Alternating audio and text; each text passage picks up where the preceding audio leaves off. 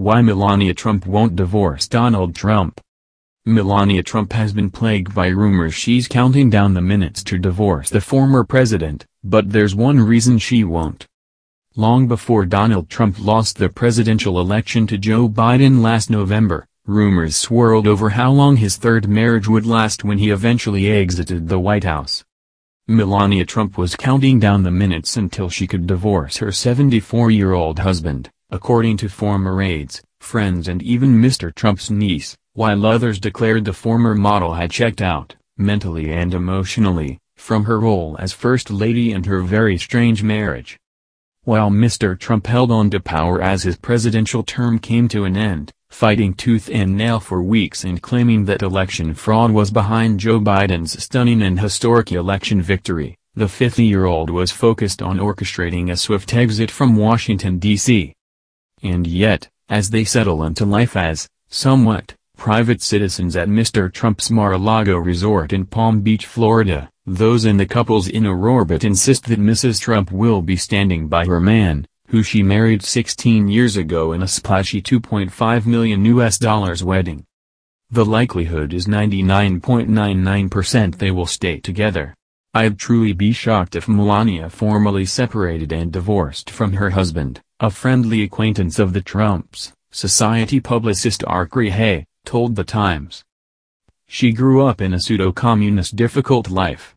When she married, she wanted stability, romantic stability, financial stability, and through it all the one thing still standing is that marriage.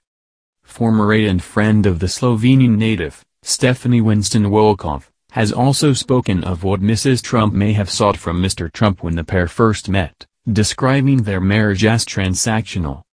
Donald got arm candy, the Vogue cover legitimized Melania which legitimized Donald as well, and Melania got two dynamic decades, Ems Wolkoff, who released an expose on her relationship with the mother of one last year, told BBC's Newsnight.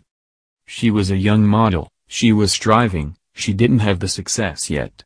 She met Donald, she married, she had a son, she became an American citizen and 10 years after that, she is the First Lady of the United States. So I do believe it was a magic moment and I also believe it was a made-for-TV moment. The fact that M's Trump would even want to stay with the self-described billionaire after a saga of tumultuous events that began long before he was elected president is, no doubt, surprising to many.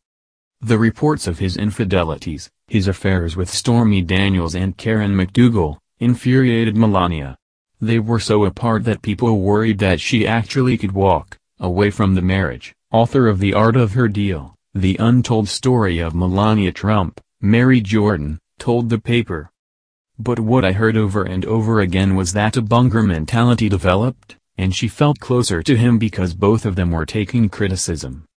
Kate Anderson Brower, author of First Women, The Grace and Power of America's Modern First Ladies, agreed.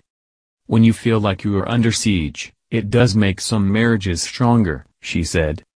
Melania is one of the few people who hasn't abandoned Trump.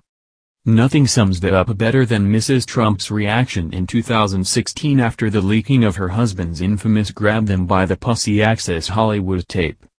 I believe my husband. I believe my husband, Mrs. Trump told CNN's Anderson Cooper. I know he respects women. Ems Wolkoff alleged her then-friend acted as if nothing happened and was radiant and smiling. She knows who she married, Ems Wolkoff said, and knew what she was getting into. Divorce might not be on Mrs. Trump's post-White House agenda, but she will spend her time establishing her own office in Palm Beach, CNN reports, and intends to maintain Be Best, her much-maligned campaign for children, one source told the broadcaster. The initiative, a broad, loosely defined platform around children's well-being, addressed issues including cyberbullying and the impact of the opioid crisis on children. There's some conflict, though, over how much of a public presence the famously private former FLOTUS will maintain. While Jordan said it's possible she'll come out swinging, Anderson Brower said Be Best is dead in the water and Mrs. Trump is all about herself and the family. Mr. Hay agreed. Melania will disappear, he said. There's not going to be any Instagram posts or Twitter posts, you're not going to see it. Melania is not a political activist any more than she is a social activist. When she married Donald Trump, that was the top of the ladder for her. In a separate interview with the New York Times, he described Mrs. Trump as a reluctant first lady, who, did it for her husband. I think that you will find that she will be even less visible and less available, he said. Quite frankly, I think America should just let her go.